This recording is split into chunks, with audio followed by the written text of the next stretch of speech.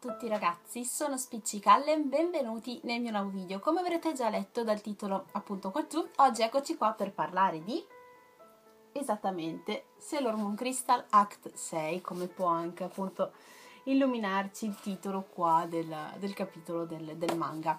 Allora, con questo act e con questo capitolo andiamo a concludere quello che è il primo volume della nuova edizione, ultima uscita in Italia di Sailor Moon. È un, act molto particolare, molto importante per molti, molti aspetti e devo dire la verità, non ho granché da dire riguardo questo episodio, a parte il fatto che è stato fantastico, meraviglioso, eh, il più bel act è andato in onda fino adesso sotto ogni punto di vista, sia come disegni ma anche appunto come storia, perché come già ho detto è un capitolo importante per la storia che arriverà appunto prossimamente. Andiamo nel dettaglio. Se avete visto l'episodio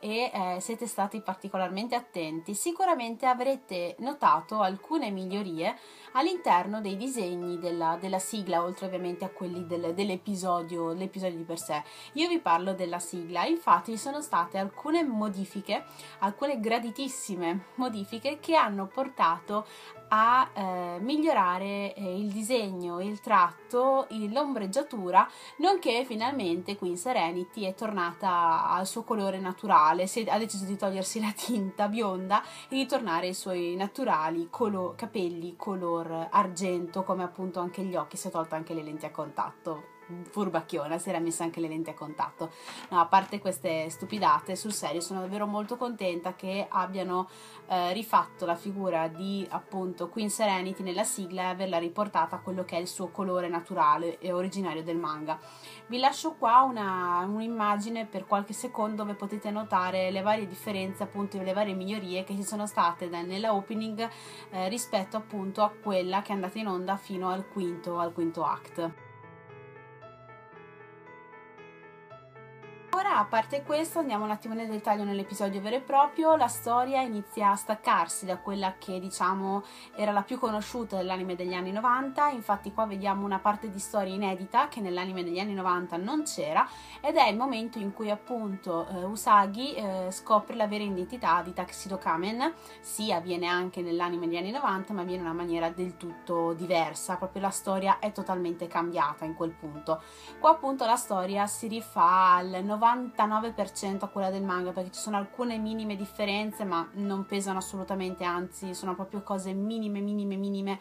Proprio è, per il resto è identico a quello che è l'act disegnato da Naoko Takeuchi all'interno del, del manga. E cosa accade all'interno di questo episodio? Eh, semplicemente vediamo un Taxido Kamen, appunto un Mamoru Chiba, che inizialmente si sveglia per colpa di un sogno. Nel suo sogno, come sappiamo, vede una ragazza, una ragazza che continua a dirgli di cercare il, crista- il cristallo d'argento illusorio e lui, pur di trovarlo, perché come sappiamo ha perso la memoria, quindi il cristallo d'argento illusorio gli servirà per riuscire a recuperare quella memoria che ha perso, eh, farà un annuncio televisivo in cui annuncia che è la ricerca appunto del, del cristallo. Questo oltre che insospettire maggiormente Luna, che già aveva molti sospetti su di lui, eh, farà in modo di iniziare una specie di, fra virgolette, chiamiamola eh, sfida, una battaglia, una, una guerra all'ultima ricerca fra lui, le guerriere e il Dark Kingdom. E non per questo appunto Queen Mary, sentendosi minacciata da questo annuncio della ricerca del,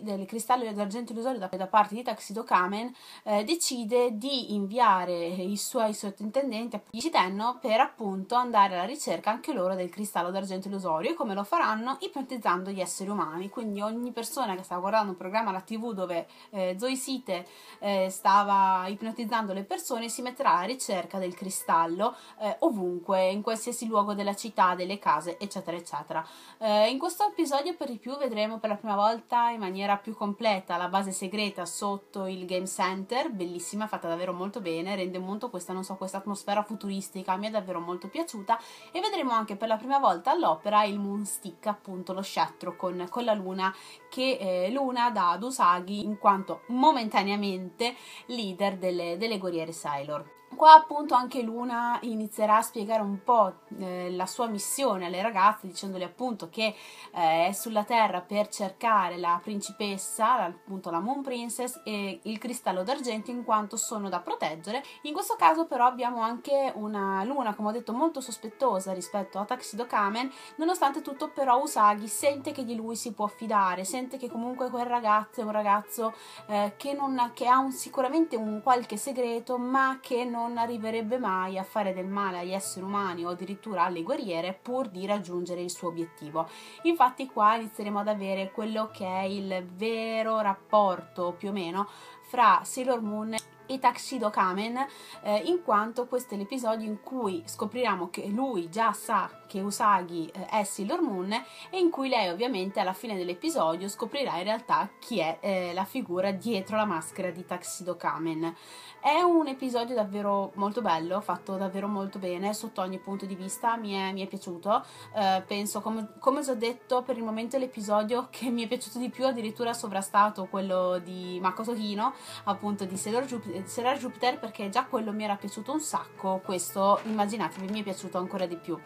Eh, mi ha fatto sorridere, diciamo, quei pochi secondi in cui è apparsa la figura di Seravi insieme ad Artemis, eh, che ovviamente noi però rivedremo alla fine del prossimo episodio in quanto figura di Sailor Venus e per avere appunto Sailor Venus di per sé, realmente dovremo aspettare non questo l'episodio, l'episodio dopo. Però mi è piaciuto questo inserimento di, della figura di Seravi come se le seguisse, come se le monitorasse, come se ora della fine, nonostante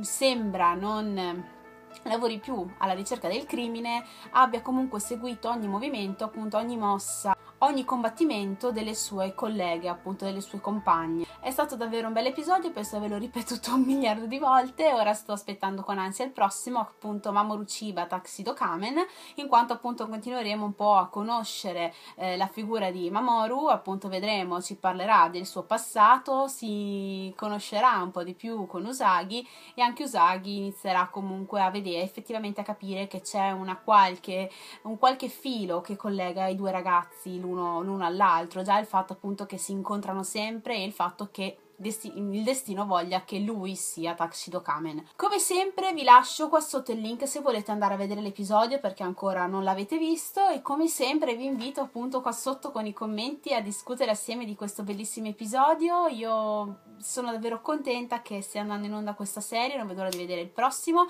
Mi raccomando, fatemi sapere anche voi che cosa vi è piaciuto, magari anche che cosa non vi è piaciuto di questo episodio, sia, sia ben chiaro. Io vi mando un bacione grandissimo e ci vediamo fra due settimane appunto con eh, i miei pareri sull'episodio e in generale al prossimo video. Ciao!